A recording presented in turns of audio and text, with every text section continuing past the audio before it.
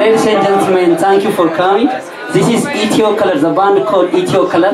Ethio Color, you can see three generations at the same time.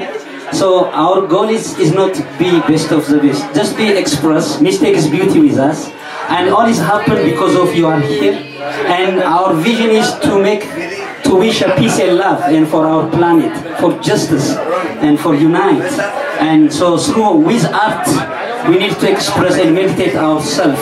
The only solution art, we believe that. That's why we are here. And I hope you enjoyed. Thank you for coming. Ethio Color.